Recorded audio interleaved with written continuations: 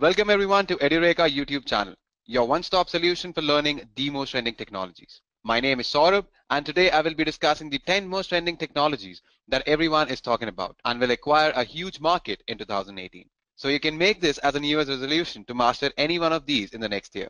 So let's look at what we have first in our list. So let's begin with RPA, Robotic Process Automation. Generally, any desk job in any industry involves tasks that are repetitive in nature and can be automated. RPA or robotic process automation allows you to automate such routine and repetitive tasks. Hence, RPA can boost the overall productivity of companies by saving their time and money. And it has a lot of cool features, guys. For example, no coding skills is required. RPA comes with simple drag and drop tool. You can automate any repetitive task without changing the underlying technologies. RPA technology can be implemented using various tools. The top three tools include UiPath, Blue Prism, and automation and anywhere that you can see it in the slides as well. Let's see what we have next. Now we are going to talk about intelligent apps, popularly known as iApps.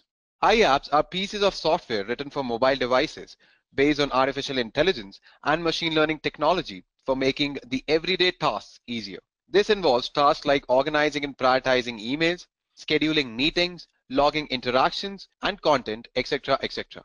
Some examples would be chatbots and virtual assistants that you can see it in the slides as well.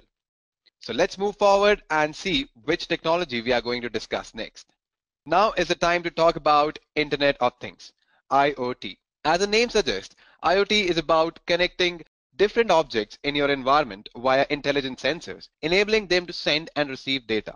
This includes everything from your mobile phones, refrigerators, washing machine to almost everything that you can think of. With IoT, we can have smart cities with optimized traffic system, efficient waste management, and energy use. So start thinking of some new excuse for coming late to office other than traffic, guys. IoT is basically a giant network of connected devices, all of which gather and share data about how they are used and the environments in which they are operated. And by doing so, each of your device will be learning from the experience of other devices, as humans do. IoT is trying to expand the interdependence in human that is interact, contribute, and collaborate to things. This is all about IoT. Let's see what we have next in our list. Now we are going to talk about DevOps. Now before I explain this, let me tell you guys DevOps is not a technology, it is a methodology that ensures that both the development and operations go hand in hand. DevOps lifecycle is picturized as infinite loop representing integration of developers and operations team by automating infrastructure, workflows, and continuously measuring application performance. It is basically the process of continual improvement. So why not start with yourself? You can even see the companies that are using DevOps right now. We have Facebook, Amazon, Netflix, and most of the companies out there in the market are using DevOps. Why are they using DevOps? Because of its advantages. It provides you shorter software development life cycles. The quality of software that is produced is way better than the previous waterfall model. It also gives you improved work environment. There are many DevOps tools available in the market. The most popular tools are Git, Jenkins, Puppet, Chef, Docker, ELK, and there are many other tools as well. So let's move forward, guys. This was all about DevOps. Now we are going to talk about Angular and React. So these are the most popular JavaScript-based frameworks for creating modern web applications. Using React and Angular, you can create highly modular web applications. So when I say modular, you don't need to go through a lot of changes in your code base for adding a new feature. Angular and React also allows you to create native mobile applications with the same JavaScript, CSS, and HTML knowledge. And the best part about Angular and React, it is open source with highly active community support. Let's see what we have next, guys. Now we are going to talk about cloud computing, and I believe a lot of you already know about it because it is a buzzword in the IT industry right now. Cloud computing is one of the most trending technology, guys. This is because it allows companies to save a lot of money and simplifies the life of a user. Day by day, more and more companies are shifting their infrastructure on the cloud. What is the reason for that? First of all, it is fast and scalable. It can be accessed from anywhere. There's no upfront cost and it provides better security. Now, there are a lot of cloud providers out there in the market. For example, Amazon Web Services, Microsoft Azure, Salesforce, IBM, Google, there's even DigitalOcean. So there are a lot of competition out there in the market, but Amazon Web Services is a clear winner based on the market share. Let's see what we are going to discuss next. Now is the time about big data. Every one of you would have come across the term big data, right? Big data has affected the IT landscape beyond any imagination. Big data refers to problems that are associated with processing and storing different types of data. Most of the companies today rely on big data analytics to gain huge insight about their customer, product research, marketing initiatives, and many more. For your surprise, big data led Germany to win the World Cup as well. Now it can be used in various domains. It can be used in retail, insurance, healthcare, banking, and finance. And I've listed only four of those domains, guys. There are many, many more domains in which big data finds its importance. So now we are going to talk about virtual reality and augmented reality. Let's discuss virtual reality first. Virtual reality is when you use artificial environment that is created with software and presented to the user in such a way that the user suspends belief and accepts it as a real environment.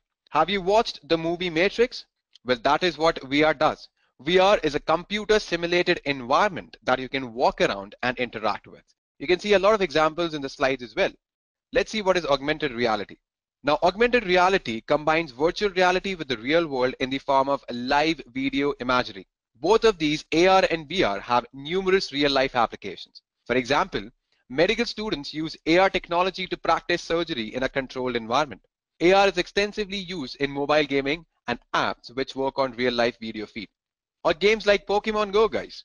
Do you know that Pokemon Go delivered $600 million in mobile AR revenue in its first three months alone?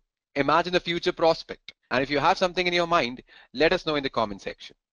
I know the list is becoming quite interesting, guys, right?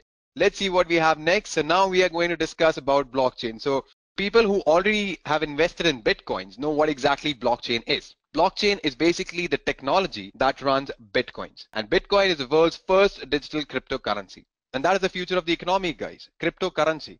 So even if blockchain doesn't exist after a couple of years, you'll have some cryptocurrency that is based on blockchain. So let's see what is the last technology that we have in our list. Artificial intelligence. But before I begin, guys, let me tell you artificial intelligence is not something new. All right, it was first coined in the year 1952 by John McCarthy. But due to lack of data and computing power, it wasn't feasible at that time. But now, with enormous amount of data and huge computing power, AI is possible.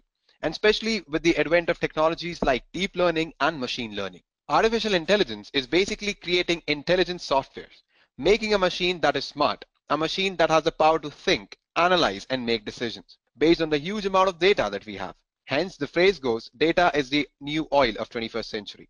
And surely the race among big IT giants to dominate the field of AI has begun. Let us know your opinion on different AI initiatives and who do you think will be the winner in the comment section below. So by this, we come to the end of this particular video. If you're looking for online structured training on any of these technologies, you can let us know in the comment section. We will reply you back ASAP with the detailed course content. Thank you and have a great day. I hope you enjoyed listening to this video. Please be kind enough to like it and you can comment any of your doubts and queries and we will reply to them at the earliest. Do look out for more videos in our playlist and subscribe to our Edureka channel to learn more. Happy learning!